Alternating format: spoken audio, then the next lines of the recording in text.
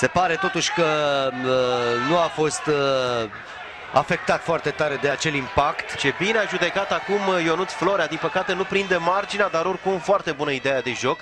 Răspund și japonezii tot cu o lovitură de picior, în mod normal. Se duce Surugiu. Nu, trebuie să oprească mingea. Ar fi trebuit să o atace mai devreme. Iată ce greșeală.